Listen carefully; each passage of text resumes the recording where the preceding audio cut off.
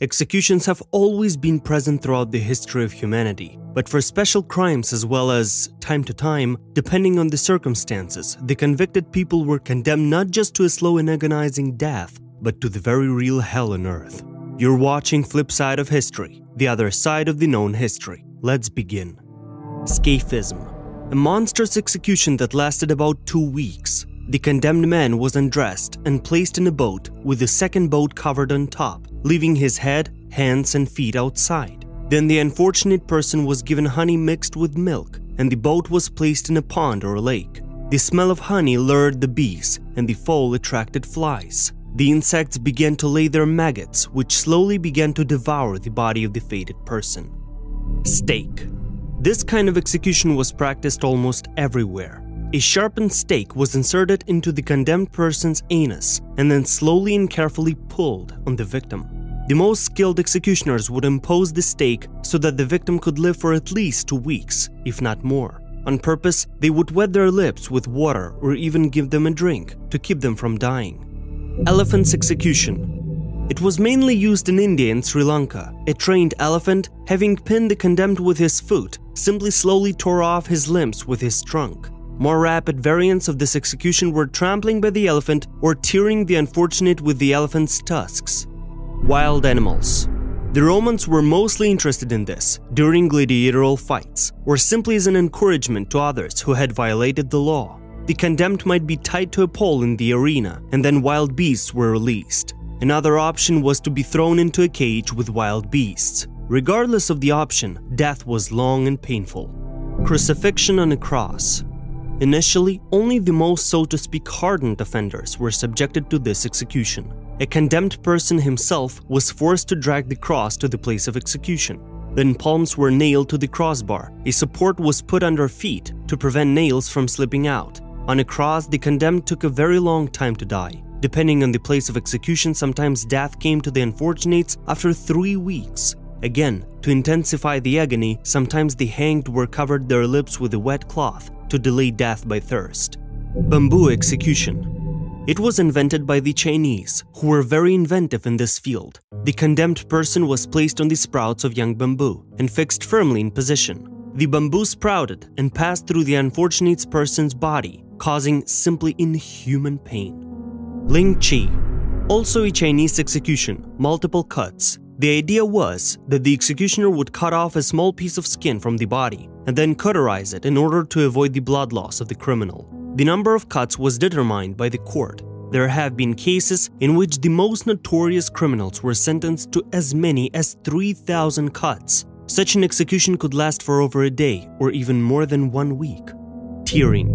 This method of execution actually has a number of variations, but the final result is the same. The condemned was torn to pieces. For example, by tying them to two squares, which were dispersed in different directions. Another variation was the quartering, which was either the same variation with horses, only there were four of them, and each pulled in its own direction, or the executioner simply cut off the limbs one by one. Finally, another method of severing was by trees.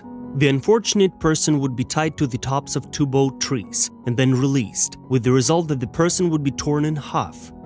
Wheels. The condemned person was tied face up to a wheel, with his hands and feet attached to the spokes. Then the limbs were completely broken, and the unfortunate person was left on the wheel until he died. Freshing, or ripping the skin off while alive. The execution was practiced in the East, but was also popular in Europe.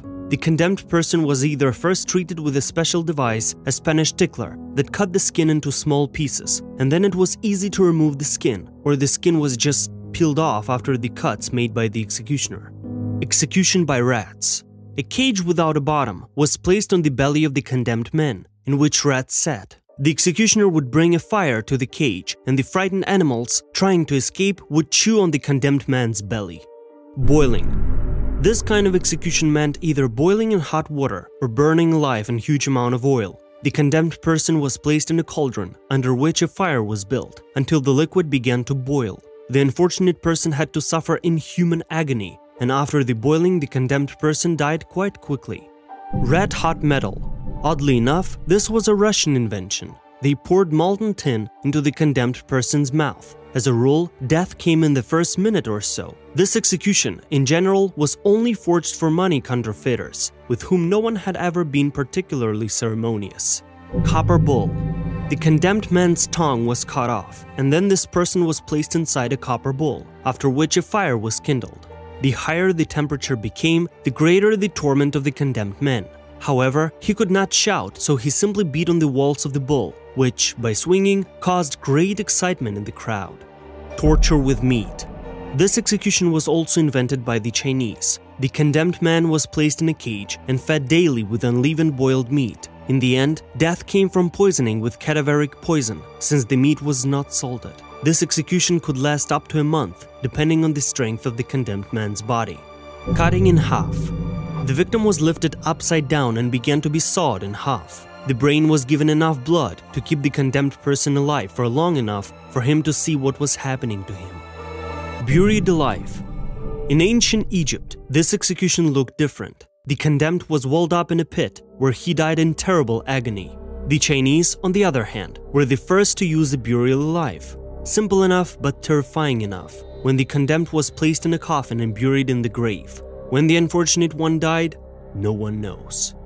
Asphyxiation with ash. The condemned person was thrown into a pit filled with ashes. Then special mechanisms lifted the ashes into the air. The condemned person lived until his lungs became completely clogged with ashes. This death by asphyxiation was perhaps one of the most cruel. Suspension by the rib. The condemned person was suspended on a special hook by the rib, with his hands and feet tied beforehand. The victim could live for several days and usually died from blood loss or thirst. Marrying a dead man. The condemned person was tied to the corpse face to face, tied as tightly as possible, and then simply placed on the ground and left alone. The decomposition process was also reflected on the condemned person, and the maggots began to occupy his body as well. The unfortunate person was intentionally exposed to the sun, given water, and even fed so that he could hold out for a long time the execution was not over when the person died, but when it was impossible to distinguish the two corpses. Burying in the sand. This execution was used by those who lived in desert areas. The condemned person was simply buried with his hands and feet chained in the sand, leaving only his head outside. The unfortunate person would die from insect bites, scavenger birds, and dehydration. Dropping on one's head. It was also sophisticated Eastern execution, the top was shaved off, a sausage of dough was placed around the perimeter of the shaved person, and then boiling oil was slowly poured into the bowl. The dough prevented the oil from spreading, and the condemned person died in terrible agony. Spanish tie, a modern execution that is actively used now by the Colombian drug cartels. It is also called the Colombian necktie. The condemned is made an incision on the throat, through which the tongue is pulled out. As a rule, this execution is given to those who dare to report some information to the police or simply became a traitor. Red Tulpine This is one of the worst executions that the Afghan Mujahideen inflicted on captive soldiers. Ten such cases are known in the world. The execution was carried out as follows. The soldier was injected with drugs so that he felt no pain. Then, all the skin was slowly and carefully pulled up to his head. The result was a bloody man with no skin, which was tied around his head. After the drug wore off, the soldiers died in terrible agony. Thank you for watching this video. Subscribe to Flipside of History and leave a like.